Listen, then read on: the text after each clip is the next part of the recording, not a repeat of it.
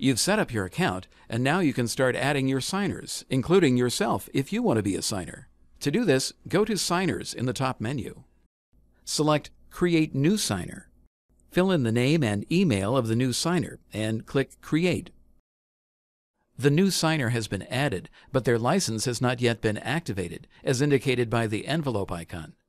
The new signer will receive an email with a link to activate their license and set up their password. Note, it's a good idea to have your signers check their junk or spam folder for the activation email. After completing the setup, signers can begin digitally signing by downloading the Cosign client or logging into the Cosign web app. Back on the signers page, the new signer's details are displayed. Note that the signer has activated their license as indicated by the green bullet icon. For a forgotten password, your signer can contact you for a password reset. Simply mark the signer and select Reset Password. The signer will receive an email with a link that lets them reset their password. If you wish to delete a signer, mark the one you want to delete and select Delete Signer.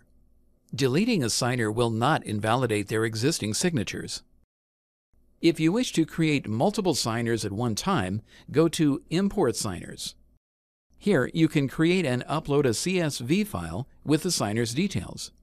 This can be done easily by downloading the blank template and filling it in.